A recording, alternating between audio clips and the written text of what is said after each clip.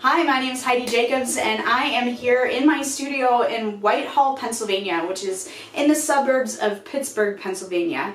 I have a small batch studio where I make works for small businesses. I make mugs for them, I make gifts for them, I apply their logos to my handmade works. I also do a lot of other works as well for small weddings and uh, group functions. Excited to have you here. Stick around for some pottery.